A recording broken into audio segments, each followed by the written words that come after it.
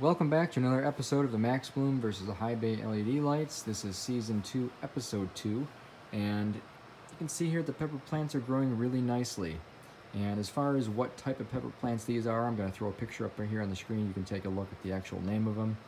Um, you can see these plants are growing very nicely, very well. Uh, they all, all four of these plants are pretty much in the exact same phase of growth.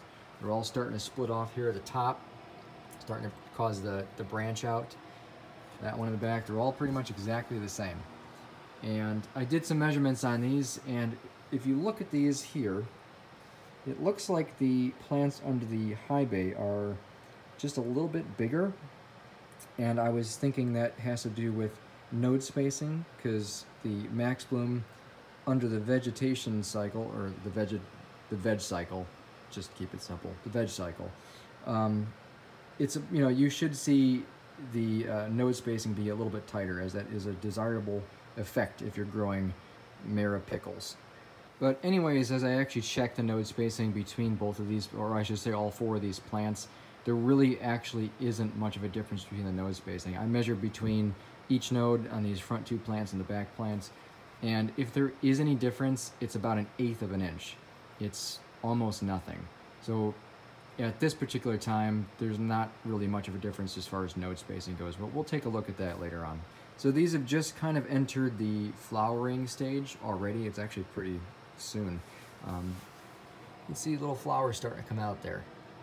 And those will actually be opening up pretty soon. And I've looked at all of these plants and I can't really see any difference between these as far as how many little little uh, flowers are coming out. And at this point, that doesn't really matter. But what I'm going to be doing now, uh, probably within the next week here, by the time you see the next episode, I'm going to be switching the Max Bloom over to the uh, Bloom Cycle, which is basically just turning this knob here and making it more red.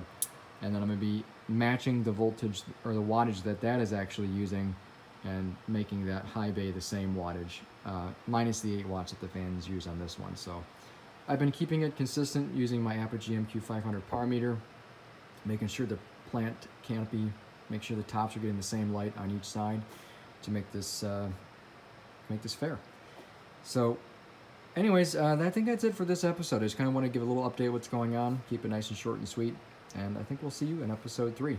Thanks for watching.